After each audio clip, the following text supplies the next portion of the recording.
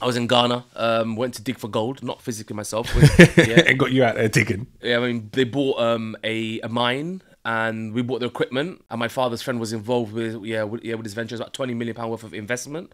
And f- f- yeah, for me, it was about being at the mine, making sure that things were going in the right direction. So it's more like an operations manager. Um, we struck gold within a year, and when we struck gold, I got a call saying, "Leave the country right now." Leave Ghana. leave, leave Ghana. As in, like we've struck gold, leave the country. We're gonna Why lock leave? off.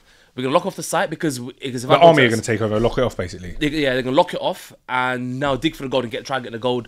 Um, you know, get it out basically. Oh, right. And they meant leave for your own safety. Yeah, for my safety in case somebody kidnaps. Kidnaps you. Yeah, and basically holds me for ransom, saying, "Oh yeah, you know, we've got this person. We you know we want the site back or whatever." So everyone How much was the gold worth? it was like 50 million pounds after like five years of it all coming out.